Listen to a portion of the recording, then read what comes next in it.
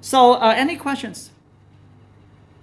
If no, I the last topic of this semester is one I want to go through cryogenic qubit readout. Right, uh, you can be uh, you mostly is for the integrated uh, spin qubit or charge qubit, silicon qubit in this case, not superconducting qubit. So what do we do? But they use the same uh, theory. Where is the slide here? Uh, let's look at this paper. My goal is to go over some basics of the paper. And now some of you may laugh at me because I know you we have an RF expert here. So uh, if I say something wrong, let me know. But I will just start from the basic because I'm good in teaching this because I learned from scratch as you also. So I may know that what you don't know. So I will try to emphasize the main points. So he said that he, they have developed a cryogenic broadband sub 1 dB NF CMOS low, CMOS low, low noise amplifier for quantum application, right? So let's look at each of them. What is cryogenic? Now you know, right? For low temperature. What is broadband? It means the bandwidth is large enough to handle the signal, right? And what is sub 1 dB NF noise uh, figure, right? So what is 1 dB, for example, right? You, you guys already designing the transistor, uh, your LNA. So again, what is noise figure? It's just the signal to noise ratio. Yeah, in the input divided by signal to noise, noise ratio at the output, right? It basically telling us how much additional noise the amplifier add to the signal, right? But what is the meaning of 1 dB, right? If you forgot, I, this one you need to very familiar with this, but uh, I, I also cannot convert it well, so I will go with the equation. It's saying 1 dB. I also know is that's 10 log, right? SNR in. I mean, what, what I showed you earlier, some people call it noise factor, and dB is noise figure. Right, so basically it's saying that in terms of power ratio in the number, right, signal to noise ratio equals to 10 to the power 1 over 10. Okay, because 1 over 10, right? And then take 10 to the power, right? And this give me about 1.268. It means it add about 26% of noise. I mean, it degrade the signal to noise ratio by about 26%. If it is 1 dB. So 1 dB means less than 1, right? What is the best that you can have, theoretically? 1 watt. You mean this is 1. Yeah. Then in terms of dB, what is that? 0 dB. Yeah. So if you can get some 1 dB, that is very good. Am I wrong or something? I think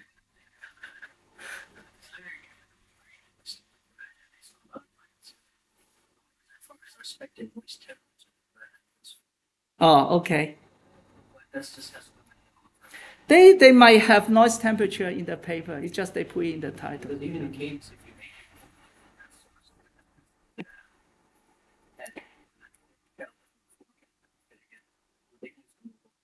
but that's just because your source uh, systems noise temperature scale to that temperature. The noise temperatures are more accurate Oh, okay, okay. Yes. So, so he's saying this is something we have been discussing, right? Uh, we all the noise figure we refer to the uh, source 4KTRS, right? So if you don't do it well, it can become meaningless, right? So yeah, so that's why sometimes they use noise temperature. But yeah, but okay, good. Okay, so now without reading the paper, at least now we kind of know what this paper is about, right? After reading the title. Before that, let's look at a few things. This is from another paper. So here shows how people uh, read the quantum qubit now. So here uh, is a qubit, and what you see is that you have a matching network, which is just a resonator. This one, if you look down, is supposed to let be, let's say, 50 ohm. So at room temperature, you have, have this all, all very complicated RF circuit. You have RF source, uh, and then you do something whatever phase shifter, and then you have attenuator, which I think I mentioned before, that you reduce the thermal noise uh, to low enough before you go to this uh, qubit, uh, quantum bit, right? So if you don't have this qubit, if this is matching well, then you basically will have uh, zero refraction because let's say 50 ohm and then you see 50 ohm, everything just go, right? It won't reflect. But when you have a qubit, depend on, depending on its state, it will change the resonance frequency of this circuit. And this is called cross curve. It's going to pull the frequency. And then as a result, so here I forgot exactly what this is, but we don't need to go into detail. It try to just show that uh, they are stable because they design something so that even given the process variation, they can control this resonance frequency well. But the main point is here. In most of the uh, in most of the frequency, in every other frequency, you have a very large refraction because it doesn't match the uh, impedance, right? It's not 50 ohm. Only a certain frequency, depending what you put for CS and what you put for CM, you get to almost zero, negative 40 dB. It means like 10 to the power 4 lower power, right? It's a 0 0.00, 0.01% of the total power. Is that right? Yeah. When you match well, theoretically, if you match perfectly, there's no reflection. You can get, you should go to negative infinity because loss zero is negative infinity, right? But basically, it is like this. So you shoot a pulse to here again from room temperature to cryogenic at 5 Kelvin. And then if the qubit is at zero, maybe, right, it's going to shift the resonance frequency to one frequency. Let's say maybe it's not in this graph, but let's say, for example, it is uh, 200 megahertz. But if this is one, it may shift to 250 megahertz. So if you shoot a pulse to here, based on the reflection, you will know that whether it is at zero or one state. And the reason is that you have this cross curve. And again, we have a cryogenic LNA here using III-V to help to uh, amplify the signal. Yeah. So that RF pulse will be like your, Yes, you use RF pulse to interrogate the qubit. It's just like the bats, right? They use the sound wave uh, to know whether there's something in front of it. If the qubit is like, if you have wall in front of you or you don't have a wall in front of you, that is exactly what it is doing. If you receive feedback, then okay, it collapses to having a wall in front of you. Yeah. Yeah.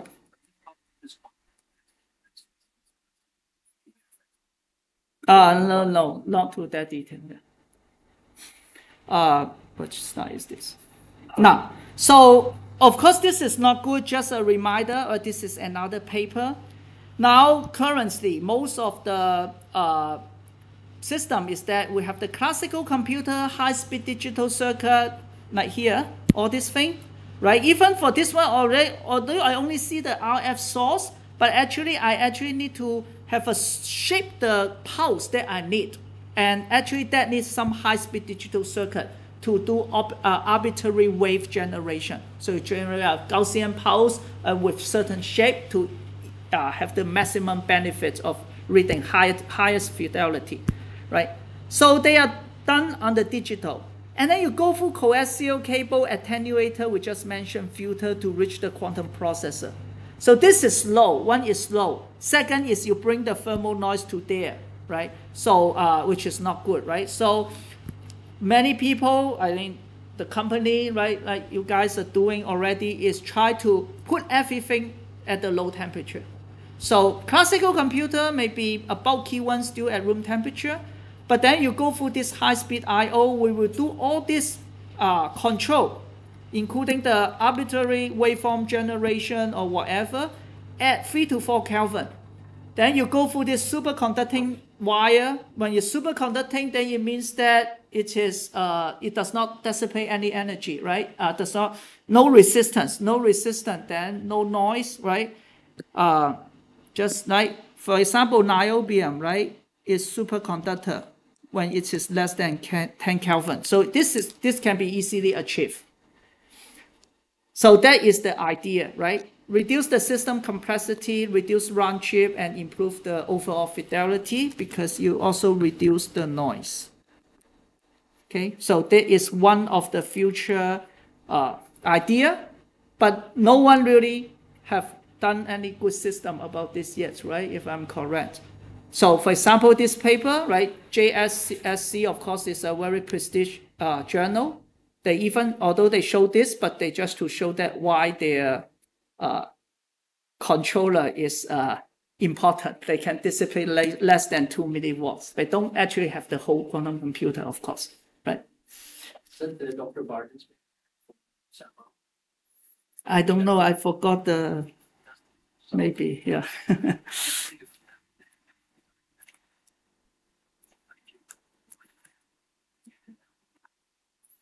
yeah, I need to check. So, and then another thing is the low noise amplifier. Now mostly it's discrete, and this is also used for superconducting qubit, I showed you earlier, right? So we won't go into the detail, but I want to remind you something. It is from this paper. It has three stages. Why is that? Uh, of course, one thing is again to even re- reduce more noise. First, uh, you can have a lower gain at the first stage, right? But another reason is that you might have, right? The first stage you want to have input matching and then lower noise. Your gain may be slow, small, but have three stages is because maybe this is the gain of the first stage, this is the gain of the second stage, this is the gain of the third stage. And then overall, I have a relatively flat gain with a very wide band. Okay, that's why they have three stages. And what I want to show you is this HEMT. Do you remember this one? Indium aluminum arsenide barrier, indium gallium arsenide channel, indium aluminum arsenide buffer. This is the HEMT we learned earlier. But maybe you forgot. But which one has a wider band gap? Smaller atom has wider band gap or larger atom? Smaller. Okay? So this one is wide band. Yeah, right? This one is small band gap. And that's why you have the 2D electron gas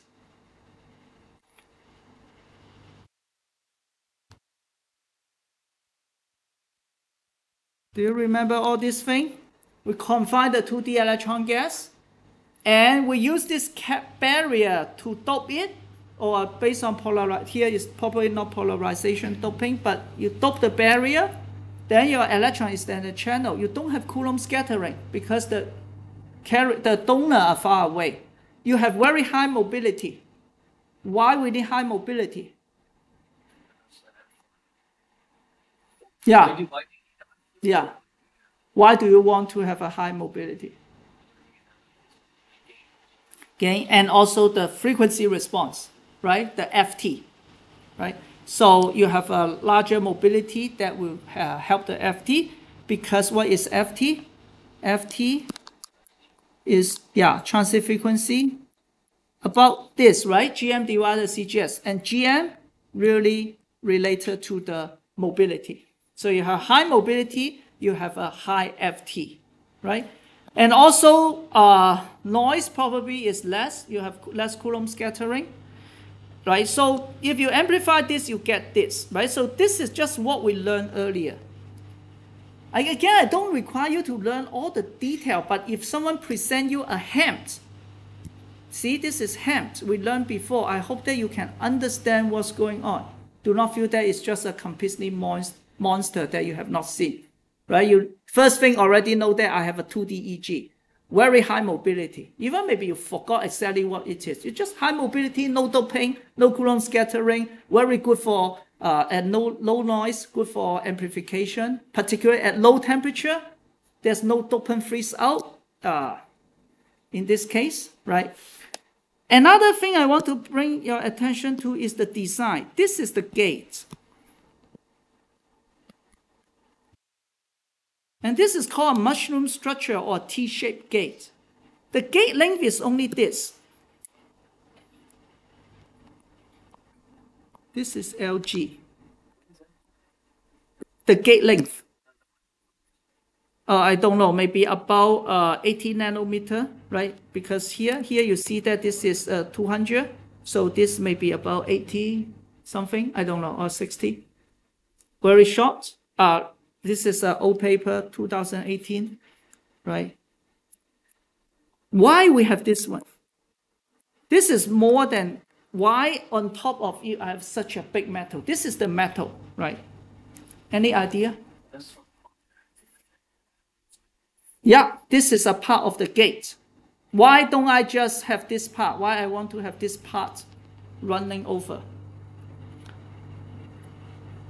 What is the benefit of a larger metal? Remember, this is a cross section. Very good. This is a cross section. We're basically saying this.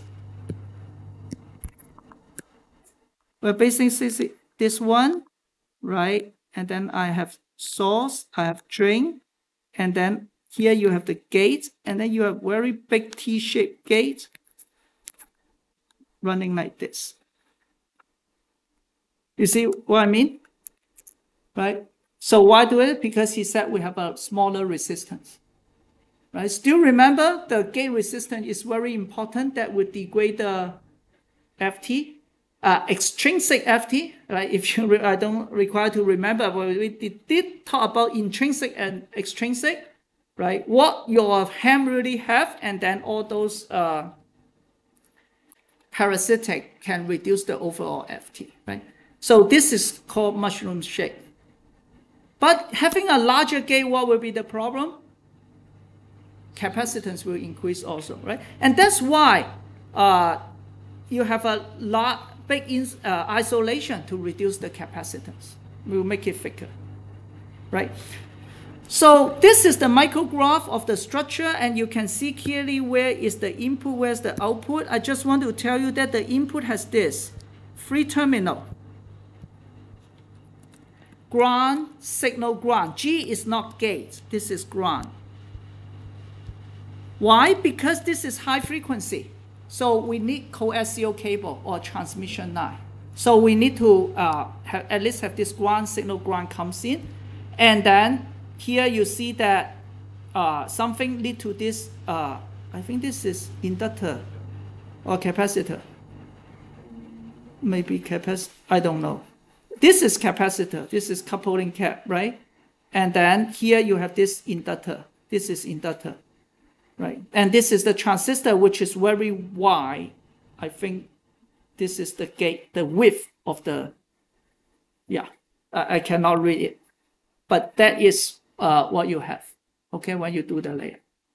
Okay, maybe I will just stop here, then I continue next time. Uh, tomorrow I will send a spreadsheet, and but probably you don't need that. Just random you pick it. Everyone present in the on the same date uh, for your project. Okay.